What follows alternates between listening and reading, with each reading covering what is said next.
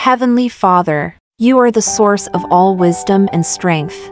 Through your word, you guide us and inspire us to follow the path of truth, courage, and faith. Reading 1 Isaiah 50 verses 4 to 9 The Lord God has given me the tongue of those who are taught, that I may know how to sustain with a word him that is weary. Morning by morning he wakens. He wakens my ear to hear as those who are taught. The Lord God has opened my ear, and I was not rebellious.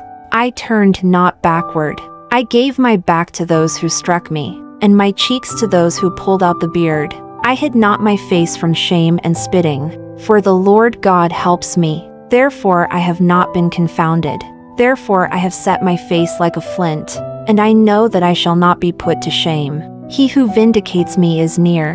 Who will contend with me? Let us stand up together. Who is my adversary? Let him come near to me. Behold, the Lord God helps me. Who will declare me guilty?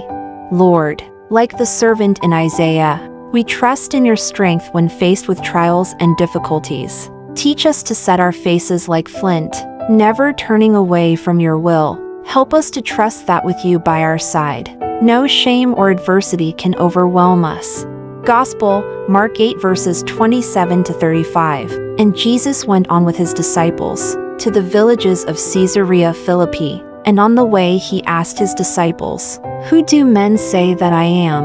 And they told him, John the Baptist, and others say, Elijah, and others one of the prophets. And he asked them, But who do you say that I am? Peter answered him, You are the Christ. And he charged them to tell no one about him. And he began to teach them that the Son of Man must suffer many things, and be rejected by the elders and the chief priests and the scribes, and be killed, and after three days rise again. And he said this plainly. And Peter took him, and began to rebuke him. But turning and seeing his disciples, he rebuked Peter, and said, Get behind me, Satan, for you are not on the side of God, but of men. And he called to him the multitude with his disciples, and said to them, If any man would come after me, let him deny himself and take up his cross and follow me. For whoever would save his life will lose it and whoever loses his life for my sake and the gospel's will save it.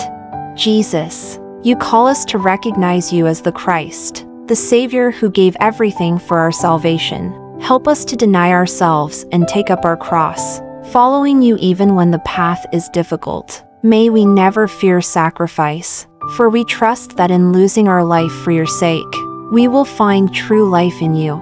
Heavenly Father, through the cross of your Son, we are called to a life of faith, service, and sacrifice. Help us to walk in his footsteps, carrying our own cross with courage and humility. May our faith shine through in our actions, showing the world your love and grace. Strengthen us to follow you always, trusting that you will never abandon us.